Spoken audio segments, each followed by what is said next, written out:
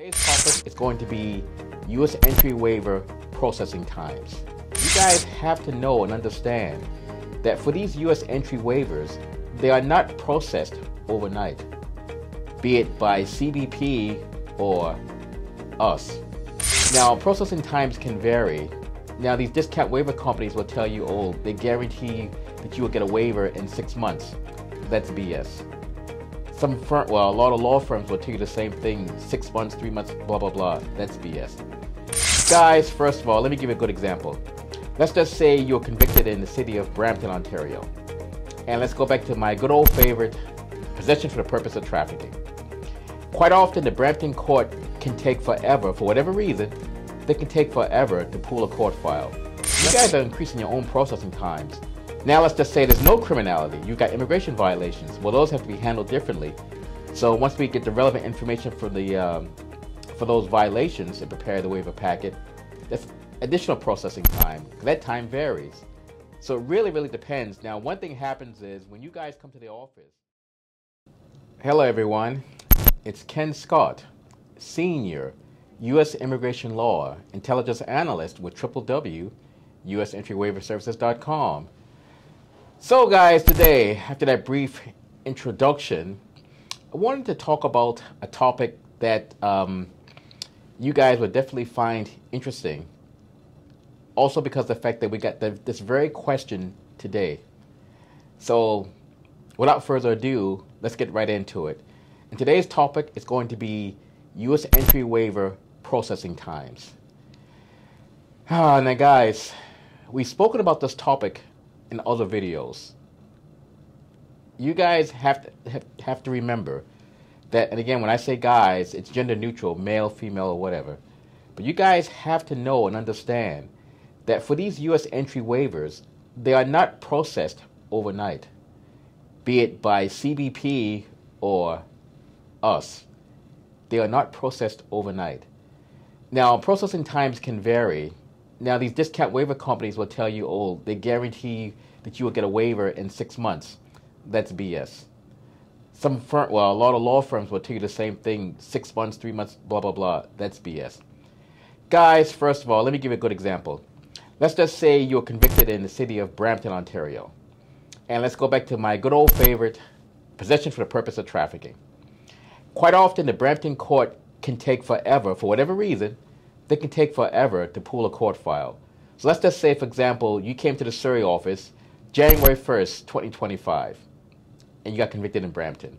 It's okay, so you came in here in January. Then you're looking at, depending upon the RCMP, part of the process is we need your digital fingerprints for waiver. So once that's done, let's just assume that takes one month. As of right now, it's longer, but let's just say one month. When that fingerprint check comes in, we're going to use that to contact the Brampton court to obtain your court files.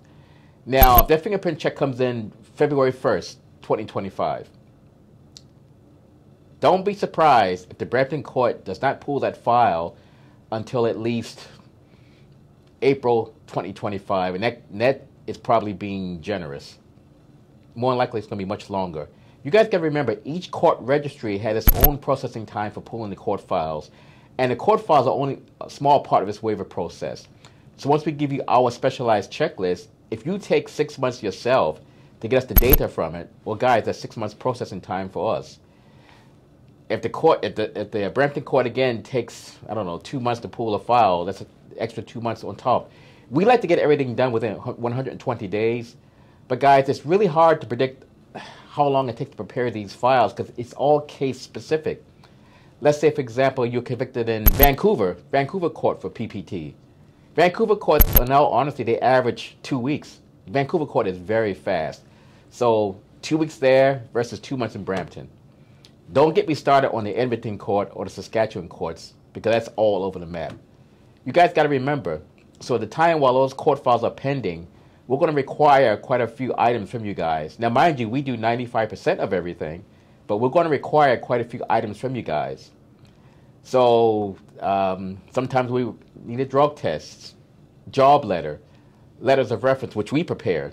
So we say, okay, Mr. So and so, give us the name of so and so friends, or you know, a certain number of friends, which is case specific, And then my writer, he's going to take at least a month or more to prepare that, those letters. And we get those letters to you guys. And you guys take forever to get it to the people to get them signed. You guys are increasing your own processing times. Now let's just say there's no criminality. You've got immigration violations. Well, those have to be handled differently.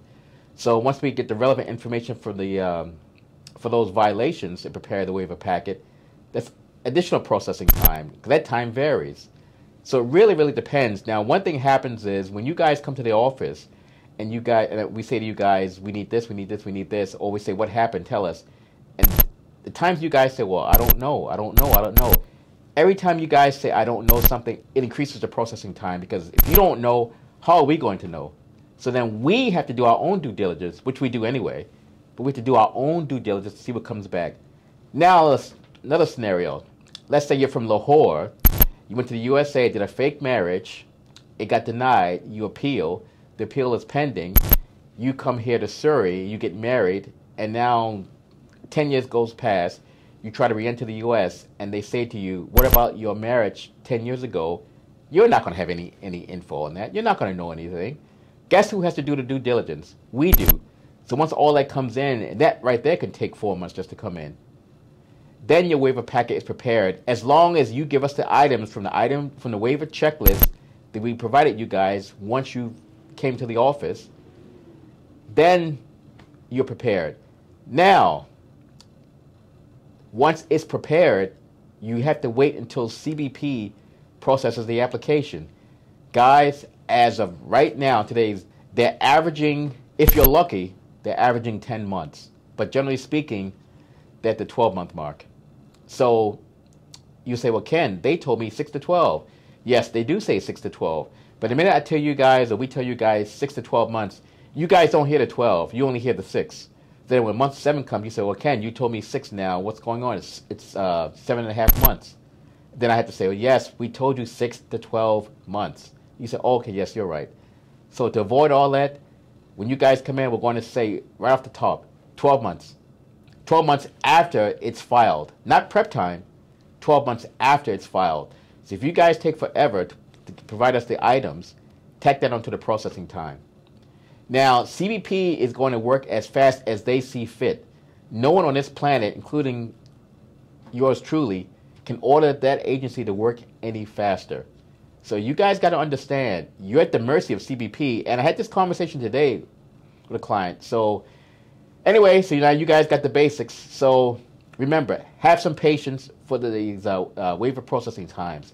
Ken Scott, Senior U.S. Immigration Law Intelligence Analyst with www.usentry Give us a shout, 604-562-8140. And we're there if you need us.